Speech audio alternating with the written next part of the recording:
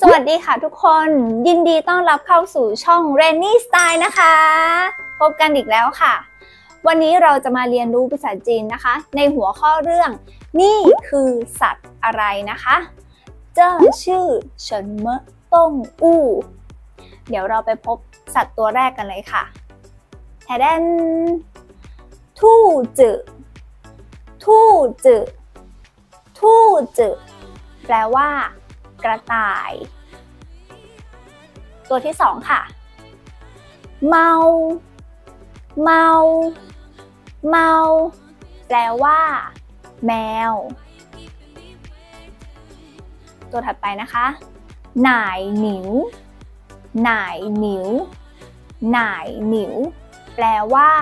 วัวหลาวหูหลาวหู หลาวหูแปลว่า เสือ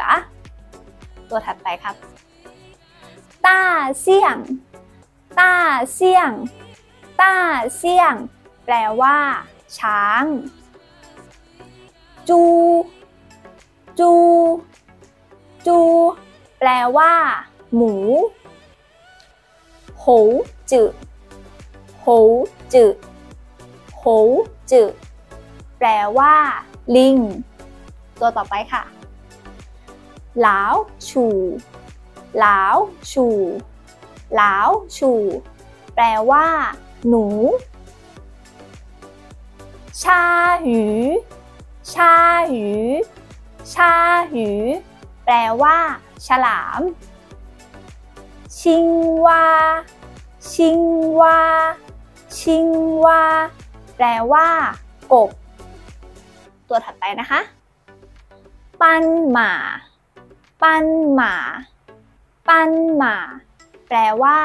ม้าลาย อูกุย อูกุย อูกุย แปลว่า เต่า เพื่อนๆ อย่าลืมนะคะ